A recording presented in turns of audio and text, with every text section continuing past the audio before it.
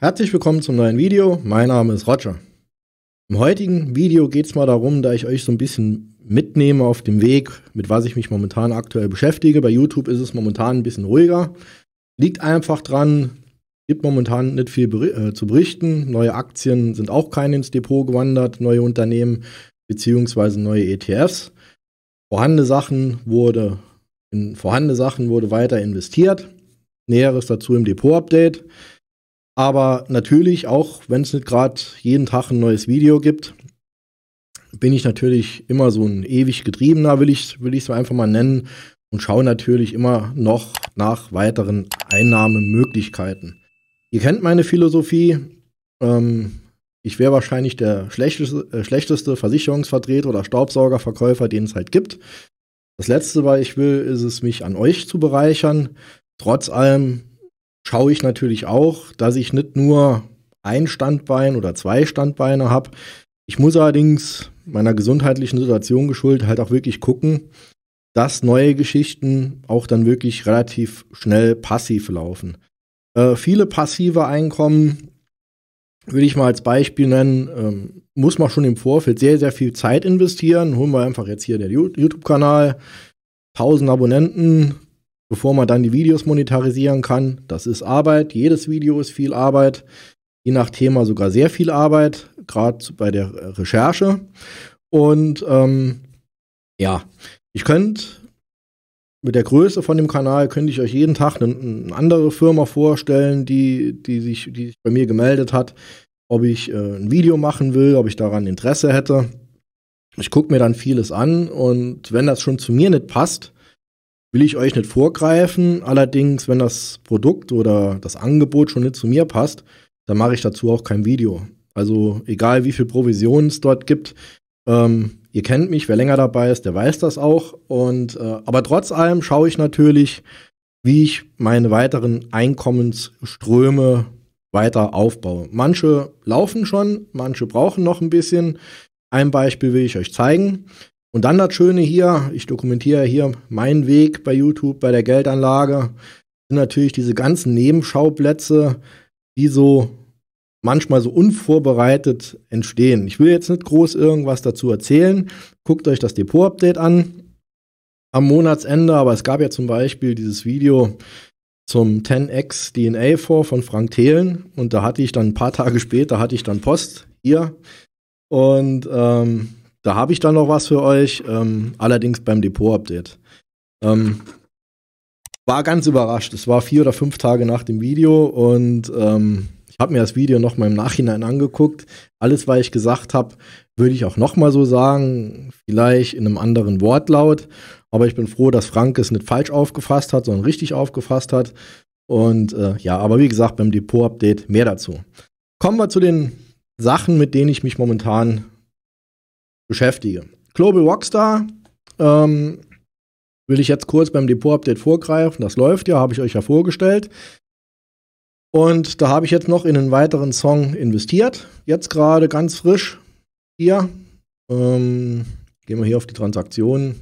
Da sieht man es ja halt hier. Am, am 9.9. habe ich nochmal in einen Song investiert. Insgesamt sind jetzt halt bei Global Rockstar 920 Euro investiert. Die ersten Einnahmen dürften jetzt nächsten Monat kommen. Und dann wird es dann halt im Dezember zu Global Rockstar so ein erstes Fazit mal geben, wenn die ersten Gelder gekommen sind. Aber auch das sehe ich halt langfristig. Mal sehen, wie lange wie lang es dauert, bis ich die 920 Euro wieder drin habe. Das werden wir dann halt sehen.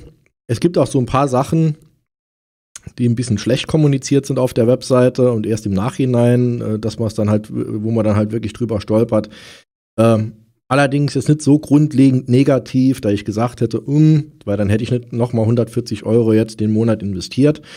Und ich habe für mich halt gesagt, ich will maximal immer in solche Projekte mal erstmal in Anführungszeichen 1000 Euro investieren. Verteilt hier jetzt in dem Fall über fünf Songs. Und ähm, dann läuft das. Ja, und ähm, dann werden wir halt sehen, wie lange es dann dauert. Das ist dann halt ein Einkommensstrom. Allerdings äh, verdient habe ich ja erst was, wenn ich die 920 Euro hier eingespielt habe. Und ich bin jetzt halt, wie gesagt, die ganze Zeit am Schauen, welche Möglichkeiten, Alternativen, will ich mal sagen, es so ähnliche Sachen gibt wie jetzt zum Beispiel hier Global Voxstar. Da bin ich zum Beispiel über eine Geschichte gestol äh, gestolpert, äh, wo ich auch geguckt habe, und zwar New Shore Invest. Und zwar kann man sich dort an Schiffen beteiligen. Das Ganze läuft auch auf Blockchain-Basis. Mindestinvest sind allerdings halt 1000 Euro. Ne? Und ähm, da bin ich im Moment am gucken, habe noch kein Konto eröffnet. Wenn ich sollte dort was machen, erfährt ihr das dann natürlich selbstverständlich. Ich werde euch den Anbieter dann auch näher vorstellen.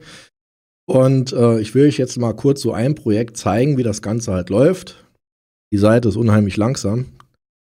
Und ähm, das ist jetzt zum Beispiel so ein Schiff halt, das soll im Juli 2022 in Betrieb gehen. Und ähm, da kann man sich dann halt beteiligen. Und, und wie man halt hier sieht, gibt bis zu 7,79 Prozent und mehrjährliche Rendite. Und die Gesamtrendite soll 85,7 Prozent sein. Allerdings ist das keine garantierte Rendite. Man kann es als Crowdfunding äh, auch verstehen. Laufzeit sind zwölf Jahre. Und ähm, die ersten drei, vier Jahre sind, ist das Schiff sogar schon ausgebucht, was ich jetzt halt so gesehen habe.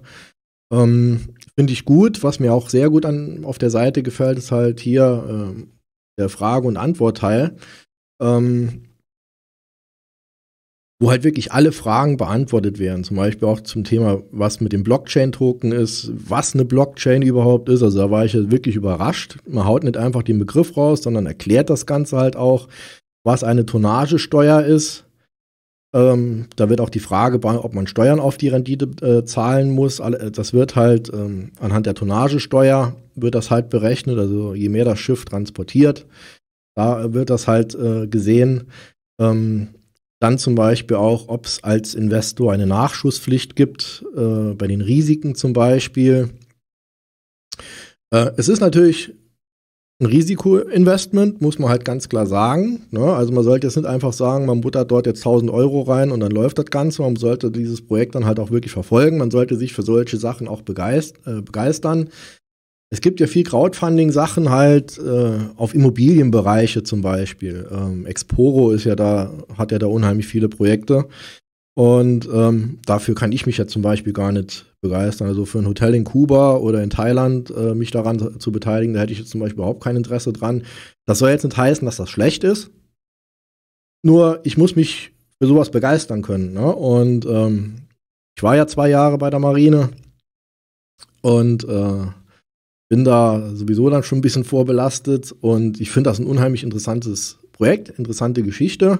Wenn ich dort was machen sollte, lasse ich euch das auf jeden Fall wissen. Ähm, gleich vorweg, auch wenn ich euch das jetzt hier so zeige, betreibt bitte eure eigene Recherche und äh, haut da jetzt nicht einfach blind irgendwas rein. Das ist ganz, ganz wichtig. Ähm, ich werde euch die drei Sachen unten in der Videobeschreibung verlinken, ohne Affiliate-Link oder irgendwie was. Also ich habe jetzt nichts davon. Es gibt noch viel, viel weitere Seiten, äh, für solche äh, Sachen halt, jetzt nicht speziell auf Schiffsinvestment, sondern halt Crowdfunding, aber da gibt es auch viele schwarze Schafe, was ich schon gesehen habe. Wird es vielleicht mal ein Video dazu geben, aber da muss ich noch ein bisschen Recherche betreiben. Und ähm, ja, das nächste, was mir halt unheimlich gut, äh, gut gefällt, ist Companisto. Da, dort geht das Ganze ab 250 Euro. Dort investiert man in Startups. Im Moment Lauf haben sie fünf Projekte, fünf Finanzierungsrunden haben sie da. Hier geht es zum Beispiel um äh, Ticketverkauf auf Blockchain-Basis. Ähm, ist vielleicht eigentlich ganz gut für gegen den Schwarzmarkt anzukommen. Aber auf der Seite auch bleiben halt wirklich keine Fragen offen. Es werden alle Fragen sehr, sehr offen beantwortet. Ja, aber es kann natürlich halt auch sein, dass so ein Startup halt äh, nicht seinen Weg machen wird und dann ist euer Geld weg. Muss man ganz einfach sagen. Ihr müsst das halt einfach so sehen. Ich will es jetzt mal hm, salopp sagen. Ich splitte das auf. 1000 Euro hier, 1000 Euro da, 1000 Euro da. Und ähm, wenn dann in Anführungszeichen eine Sache ausfällt, und dann äh, ist es halt so. Ne? Also dann darf ich auch im Nachhinein nicht jammern. Und äh, allerdings auch in dem Bereich will ich mich dann auf mehreren Säulen aufstellen. Ähm, wo dann halt auch Einkommensströme generiert werden. Das sind jetzt natürlich keine Renditen, wie wenn man jetzt in Kryptowährungen investiert oder sonst was. Das darf man auch nicht vergleichen. Ne? Ähm, man sollte sich halt auch wirklich dann mit diesen Firmen äh, auseinandersetzen, auch mit diesen Webseiten wie jetzt Companisto auseinandersetzen. Ähm, das muss man halt ganz einfach sehen. Und dann habe ich noch was ganz Interessantes. Das ist vielleicht für den einen oder anderen aus Österreich, hier aus der Community, ganz interessant. Und zwar gibt es in Österreich das Unternehmen Eloop One. Die betreiben eine Carsharing-Flotte. Ich hatte das schon mal in meinem Livestream bei Twitch mal kurz gezeigt. Und die machen immer wieder einen Token-Sale-Verkauf. So, und das ist dann halt so, wenn jetzt jemand aus der Community, ich sage jetzt mal, der Rede nicht, jetzt in Österreich wäre und würde sich von Ilo Bonn so ein Auto nehmen aus dem Carsharing-Bereich und ich hätte jetzt Token von dem Unternehmen und dann bekäme ich für, für, für jedes Fahrzeug, für jedes Mal, wenn der eine Fahrt macht, bekäme ich dann halt ähm, Geld. Ja? Und äh, im Moment ist der Sale beendet. Es gibt immer wieder Finanzierungsrunden, neue, und äh, wo die dann weitere Coins verkaufen. Ist auch sehr gut beschrieben, wie das Ganze aufgebaut ist. Und ähm, die Zeitlinie, die Timeline ähm, oder ich sage jetzt mal so den Weg, wo sie noch gehen wollen, ähm, haben sie auch bis jetzt sehr, sehr gut beschritten.